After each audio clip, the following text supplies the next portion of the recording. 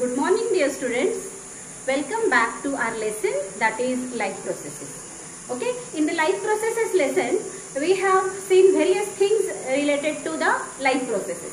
Means uh, various topics like photosynthesis, factors affecting on the photosynthesis, the nutrition in amoeba and uh, heterotrophic uh, mode of nutrition in amoeba we have seen and we have gone for the heterotrophic mode of nutrition in human beings also. In that we have, I have said you, the digestive system, this human digestive system is subdivided into two parts that is alimentary canal and the digestive gland.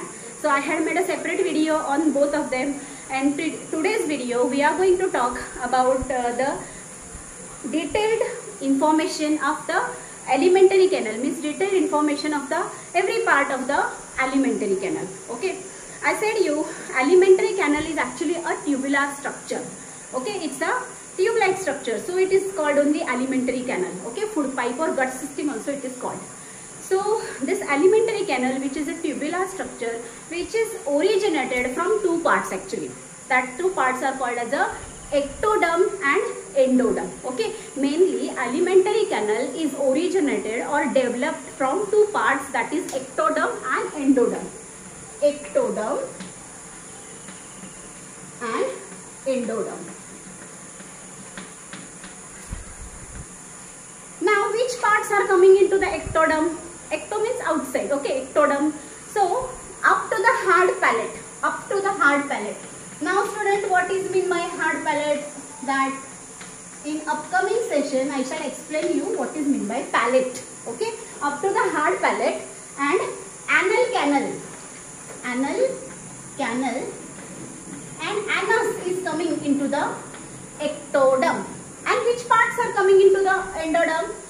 From soft palate to rectum. From soft palate to rectum. These are coming into the endoderm. So alimentary canal is a tubular structure which is originated from these two parts that is ectoderm and endoderm. Okay. So today we are going to talk about mouth then pharynx and the esophagus this is our today's topic.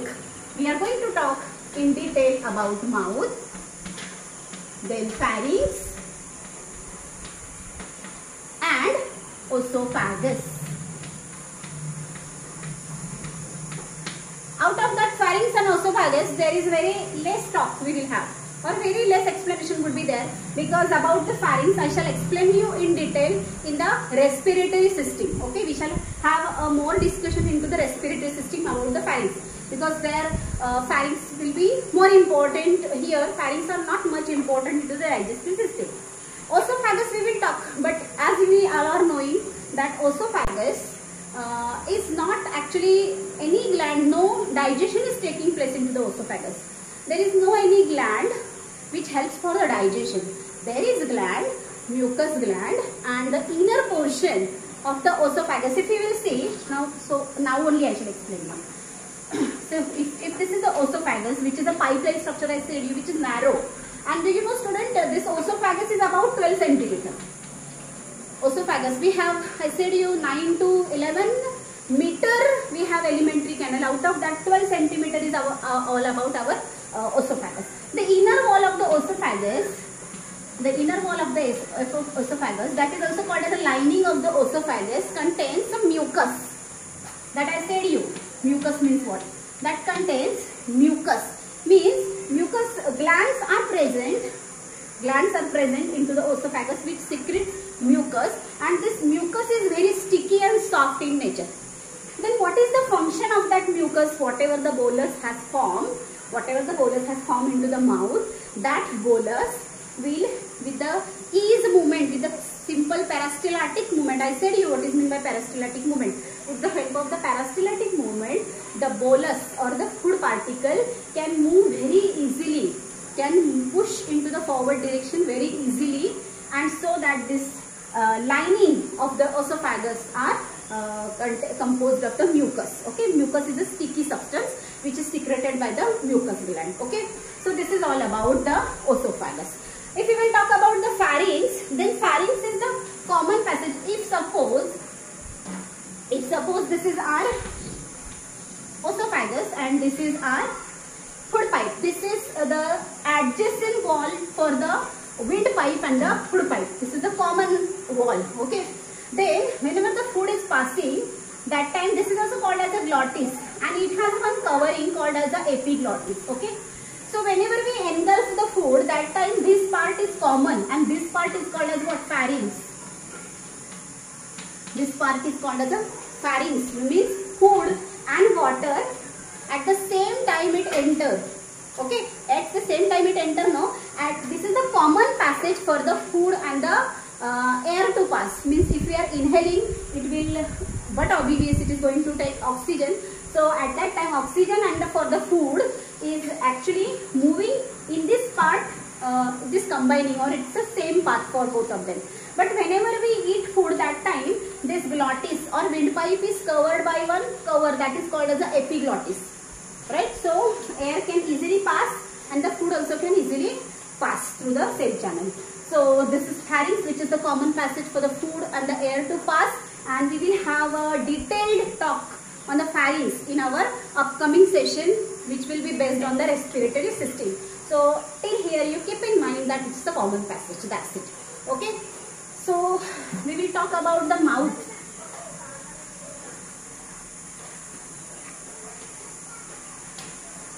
Now student,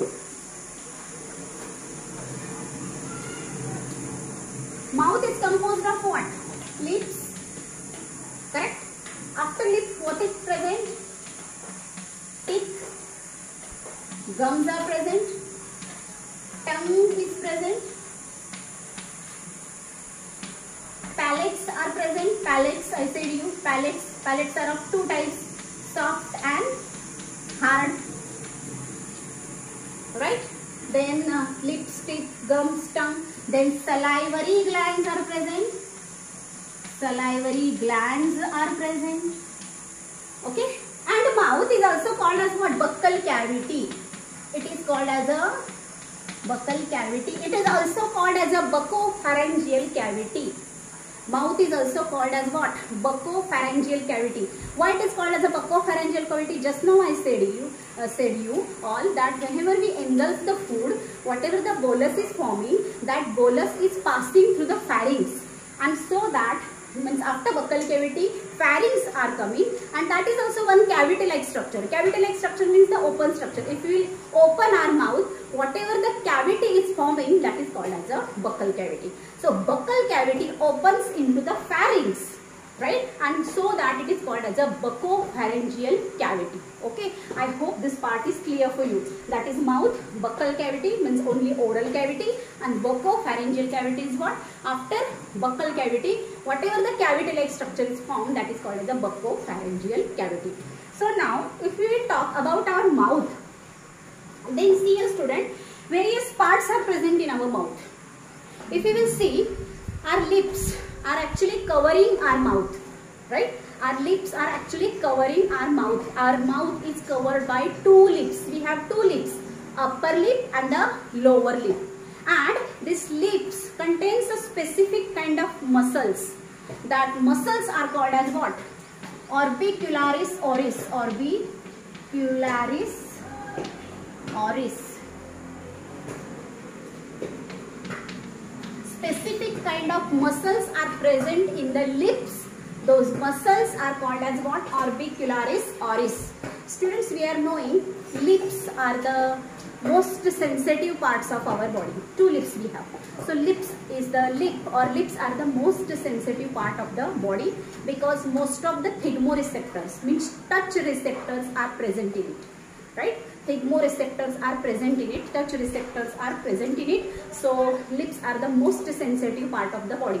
Now what is meant by receptors? How many types of receptors are there? That all we will talk about in control and coordination. We have a specific lesson for the nervous system which includes our uh, nervous system we will be including the brain then our spinal cord backbone everything that time nerves specific nerves or sensory organs we will learn. In that receptor term will be more clear. But keep in mind that thigmoreceptors or touch receptors are mainly present into the lips. And so that lips are the most sensitive part of the body which is composed of orbicularis oris type of a muscle. Okay?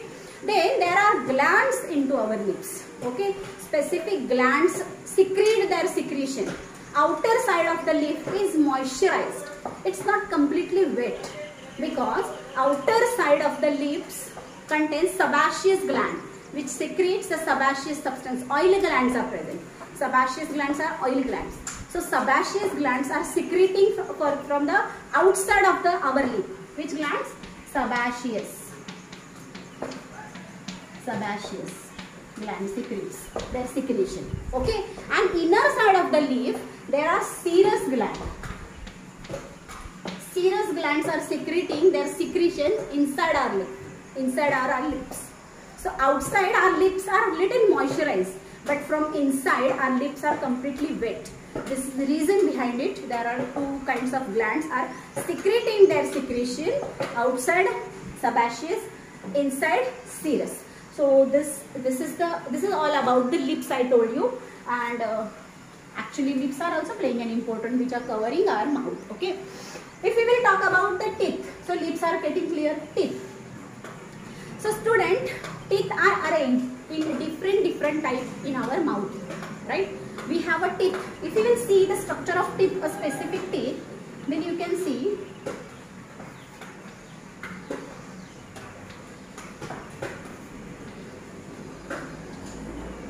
like this something structure would be there of our teeth okay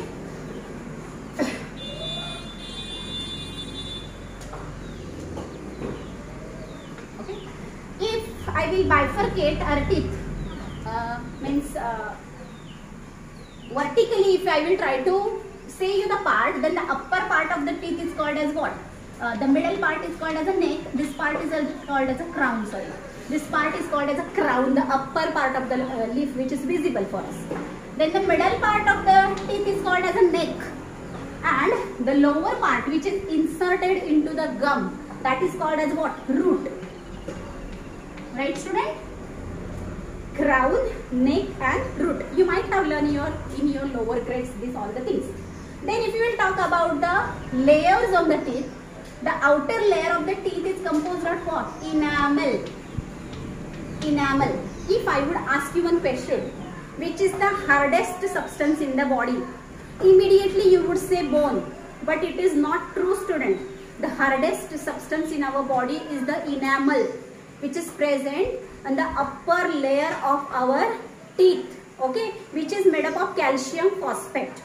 This enamel is made up of calcium phosphate. So this is enamel but the bacteria have ability to degrade it or to decay how i shall show you. Then inside it there is one structure that is called as what? Dentine. Dentine. And inside the dentine there is a pulp inside the pulp there are arteries and veins. Our tooth are becoming whenever they are started decaying that time they start spaining or they become sensitive. Because their enamel go dentine also go and the pulp we are touching to the pulp. And pulp and the and in internal part there arteries and veins are present. That part is quite sensitive. So we feel sensitive that part whenever the tooth decay starts. Okay? So these are the parts of the teeth student uh, you will learn in your chemistry lesson second acid basis and salt dental caries. But at dental caries is the part of the biology. So i would like to explain you that whenever we eat something right whenever we eat something mostly we eat carbohydrate rich food right? 60 percent of our diet is the carbohydrate only. Or sugar directly we eat we like to eat a sugary substance with the sweet substance. And there are some bacteria what these bacteria are doing. Bacteria are accumulating at a particular place of our teeth. And that particular place is called as what? Plaque. Okay? The part is called wherever the bacteria are accumulated. And what these bacteria are doing? Because we have eaten something. We have eaten the carbohydrate rich food. We have eaten the sugar rich food. So what it does this bacteria is attacking on that carbohydrate rich food. Okay the carbohydrate rich food they are attacking and they are trying to convert that glucose or that sugar into the acid. Okay? And as uh, that is convert into the acid then that acid is responsible for what? For the decaying of our teeth. Whatever the bacteria are present in the form of plaque these bacteria are converting are able to convert because they have a specific kind of enzymes in them with the help of those enzymes they are trying to convert that sugar particle into the acid. And if the acid would get formed the acid will try to degrade or try to decay the outer structure of our teeth. That is called as what? Enamel. Okay student? That is called as an enamel. And this process is called as what? Decay. So frequently what we have to do we have to brush our teeth because brush our whenever we brush our teeth with the help of the toothpaste toothpaste is basic in nature. Now whenever the acid is forming the ph of our mouth becomes acidic which is with uh, 5.6 to 6 it becomes 5.6 to 6 this is the ph that you will learn in the, your chemistry okay? ph means the potence of hydrogen okay? If, if it will be before 7 then it will be acidic. If it, it will be after 7 it will be basic. So we use the paste which is basic in nature so there is a reaction occurs between acid and base, the neutral substance is forming. And the neutral substance is uh, no more uh, having the process of the uh, decay. Okay, it stops the process of the decay because of the neutralization reaction has taken place over here. So acids, uh, no uh, acids cannot further starts the further decaying process and so that student what we have to do? We have to brush our teeth twice. And if possible then after every meal at least we have to gargle or rinse our mouth. So it will come into the dental caries. I said you, sugary substances are there, bacteria are present into the mob. That is called as a plaque. And this plaque is attack on the carbohydrate rich food or the sugar. And that sugar is converted into the acid which leads to the dental caries. Okay.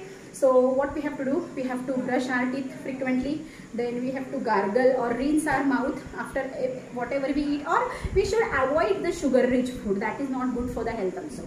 So I hope uh, this I have talked about the teeth. Then what type of teeth we have? What type of teeth we have?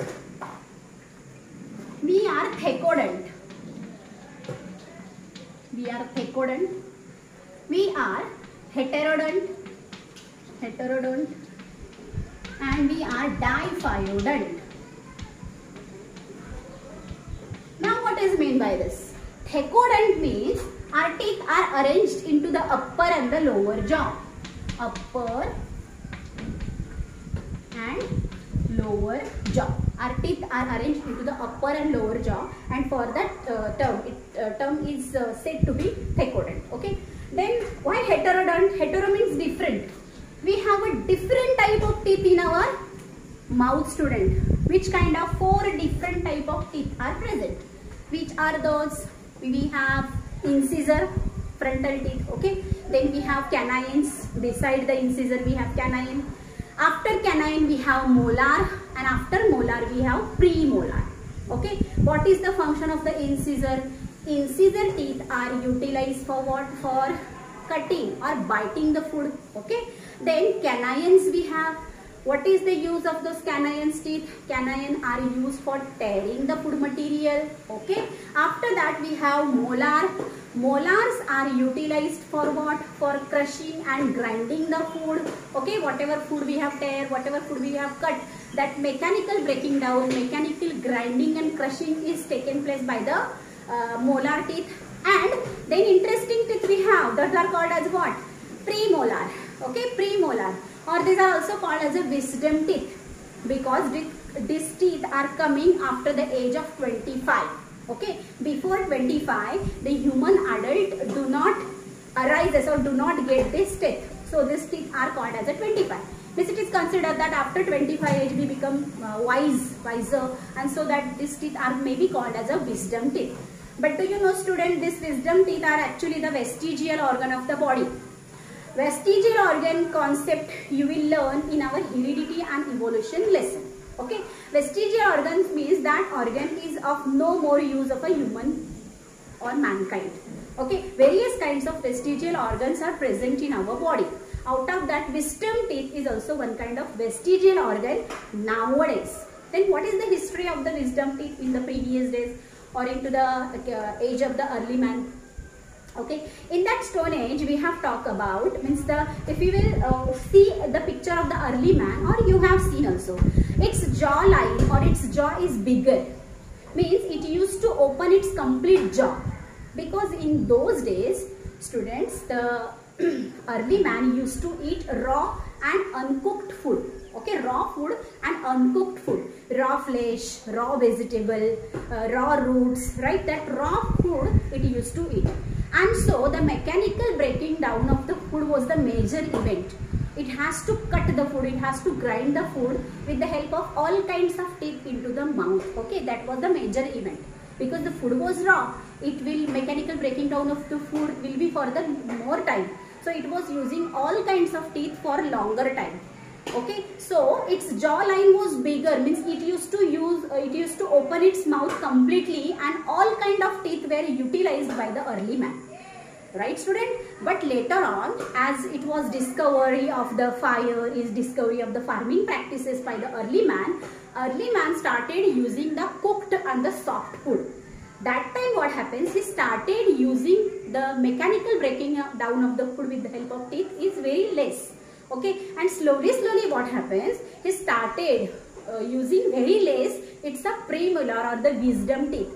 And because of the evolution those teeth are of no use. Nowadays we are using student uh, our uh, uh, molar teeth. But premolar we don't use. Actually these are the vestigial part of the body because we don't eat now raw food and uncooked food. We use completely boiled completely cooked food soft food we eat. And so no use of it so nowadays our jawline is small but in olden days the early man's jawline was too large. Means it has a large jaw. If you can see to the picture and you will observe that today's the facial uh, facial structure of our face and the that, that early man's face. You can compare that. You will get to know what is what i am saying okay?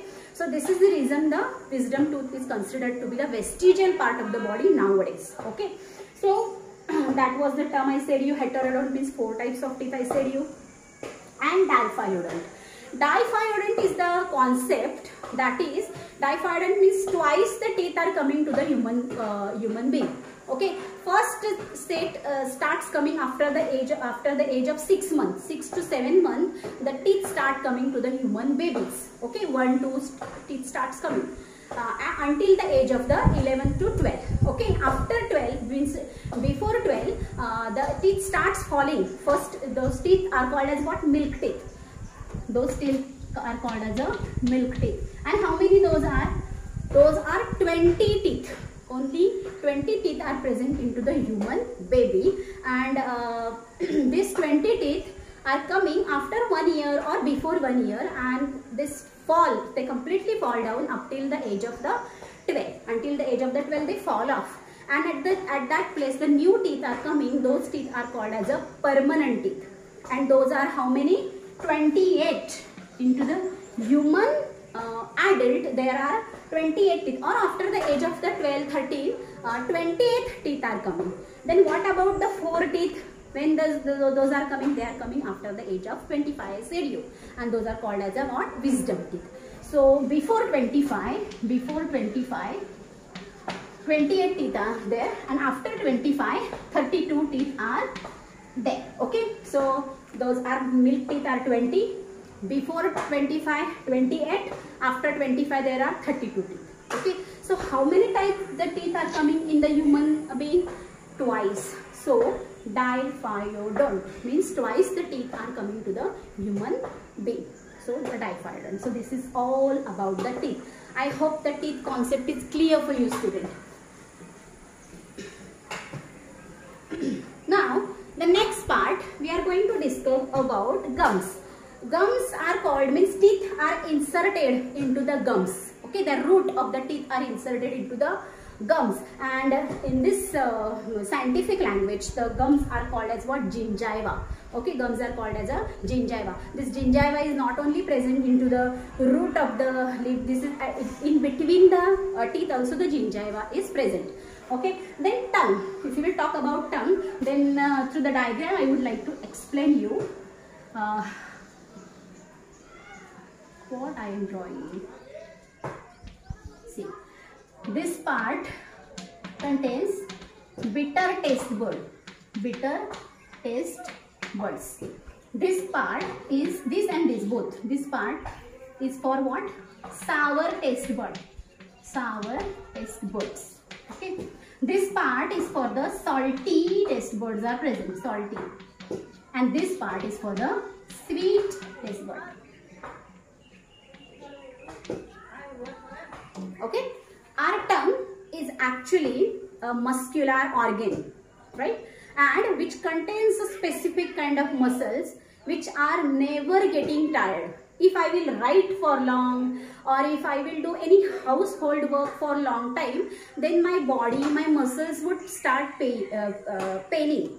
Body ache would occur because of the muscular pain. But our tongue contains a specific kind of muscles However we will speak, they are never getting tired and exhaustible muscles are present in our tongue.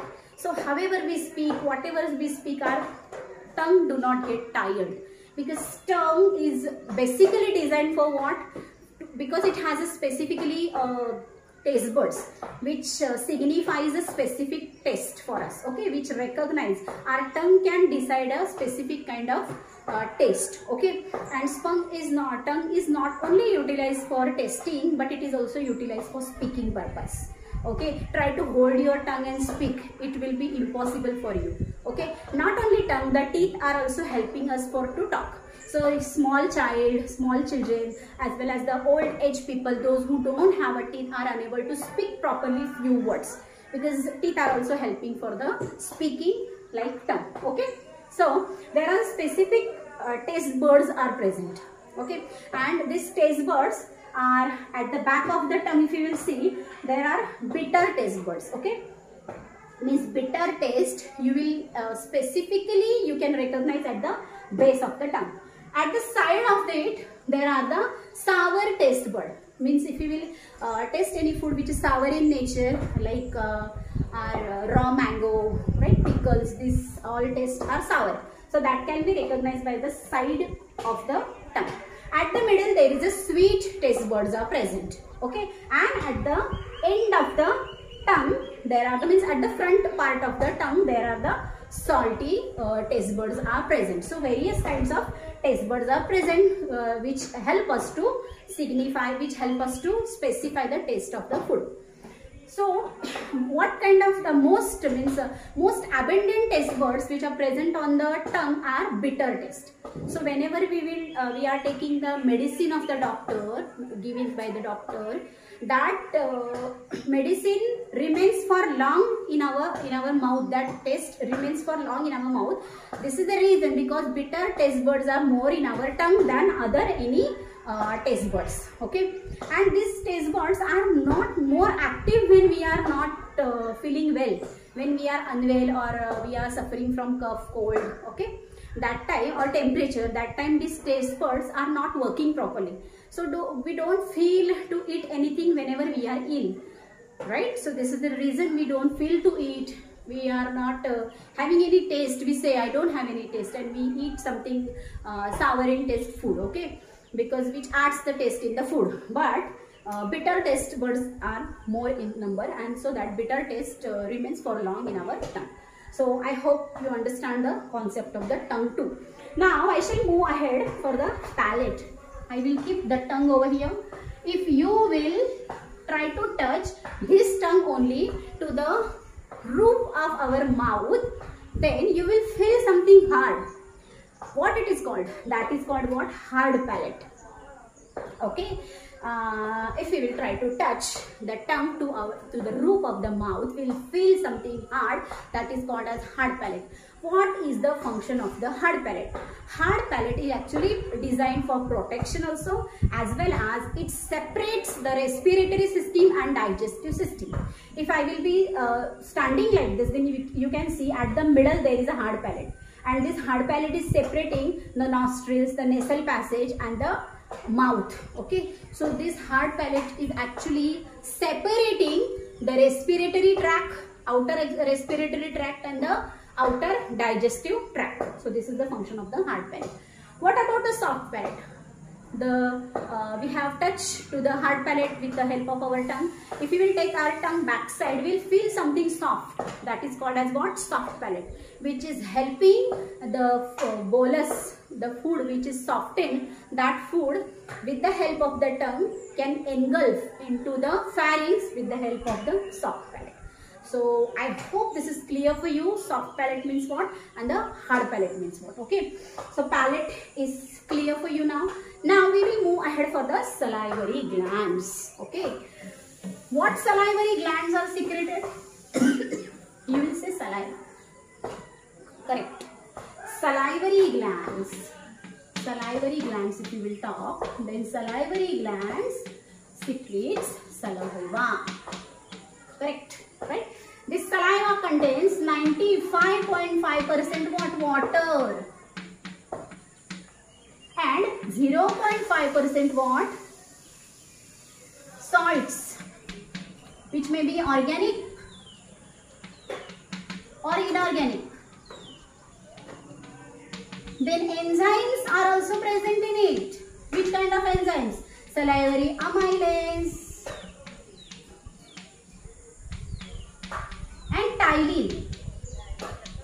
Ptyalin is also enzyme.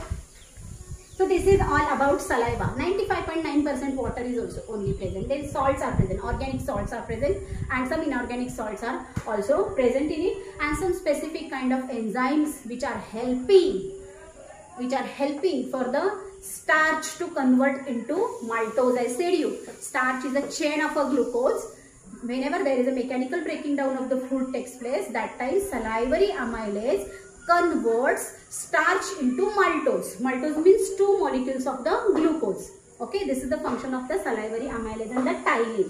So this is all about the saliva. So it's secreted from where? Do you know student how many salivary glands are present in our mouth?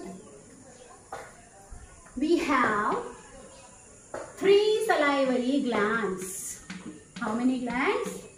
Three salivary glands means three salivary glands, three pairs of the salivary glands, sorry, three pairs of the salivary glands are present in the human being. Okay, where are those situated or what are the names of them? I shall explain you. The first important and the largest salivary gland is parotid. Parotid salivary gland. This parotid is parotid salivary gland is situated near to the near to the ear. Means we can say ear. At the end of the ear this salivary uh, parotid salivary gland is present which is the largest salivary gland. Most of the saliva is secreted from this parotid salivary gland okay? Then second salivary gland is what? Submaxillary or submandibular. Submaxillary submandibular. Submaxillary and submandibulary, submandibular salivary glands are present in the junction of the upper and the lower jaw. At the junction of the upper and the lower jaw, these salivary glands are present. Do you understand? three pairs of salivary gland. One is at the end of the ear or near to the edge, uh, uh, near to the area of the ear that is parotid which is the largest salivary gland which secretes the large amount of saliva.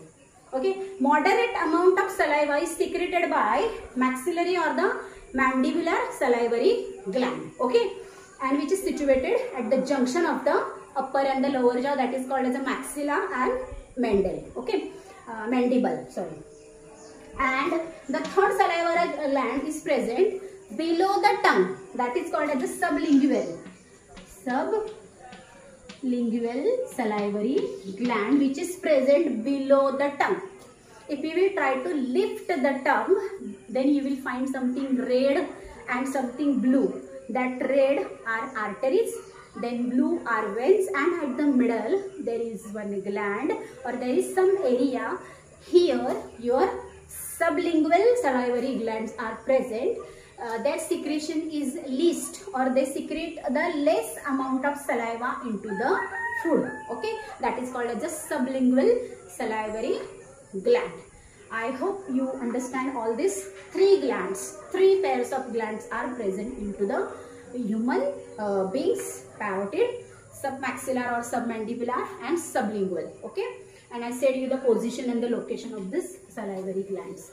The salivary glands are responsible for starch to convert into the maltose. Okay, I said you. Okay. Mm, and uh, this is very important means our um, digestion starts in the mouth itself. So this is playing an important salivary glands. Okay. then if you have the structure, I said you buccal cavity or buccopharyngeal cavity. If you will see the structure, say here there is one uh, diagram. In that diagram you can see our mouth contains two jaws. Okay, two lips are also present and back of the two lips we have two jaws. The upper jaw and the lower jaw. The upper jaw is called as what? Maxilla. The upper jaw is called as what? Maxilla. The lower jaw is called as what? Mandible. The lower jaw is called as what? Mandible. Okay. And the gap between the cheek and the gum and the teeth. The gap, this gap is present in between the cheek and the gums. That, uh, that gap is called as what? uh, buccal vestibule. Okay? Why this gap is designed student? This gap is designed to store the food temporarily into the mouth. So whenever we eat food whenever the bolus are formed that all bolus we do not uh, engulf it some bolus or little uh, food is present in that space. That is called as what? Uh, buccal vestibule.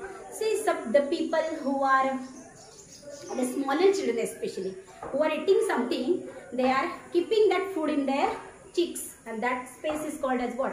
Buccal vestibule. Okay? And i said you are upper and the lower teeth are inserted into the gums. Those gums are called as what?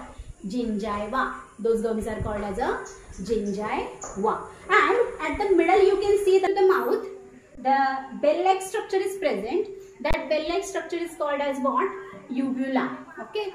And beside uvula you can see the structure is present. That structure is called as tonsil.